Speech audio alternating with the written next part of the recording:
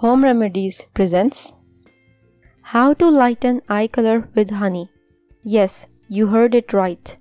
It is safe and possible to use honey to lighten eyes.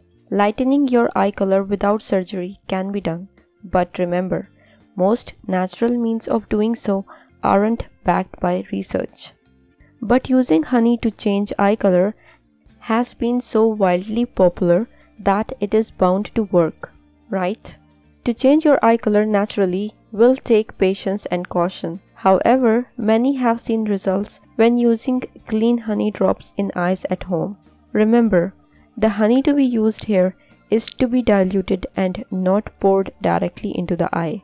It is the reaction of the honey with water that is said to be the cause of lighter or color changing eyes. When combined with water, honey has the ability to form small, natural amounts of hydrogen peroxide, which can have mild bleaching effects.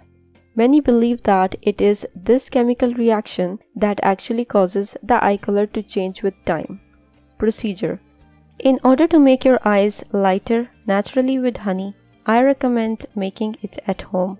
First, boil the water you are using. By distilling your water, you are eliminating any germs that may be lurking within that can cause your eyes swelling and inflammation as well as permanent eye damage.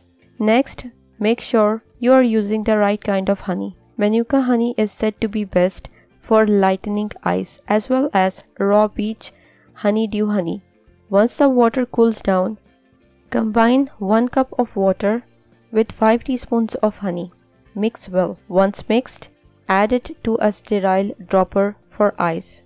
Drop this mixture into your eyes, doing 2 to 3 drops per eye for 2 weeks.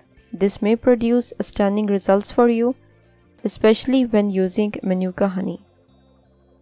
If you liked the video, hit that like button to give it more value and share it on your social networks to let others benefit from it too. Thanks for watching.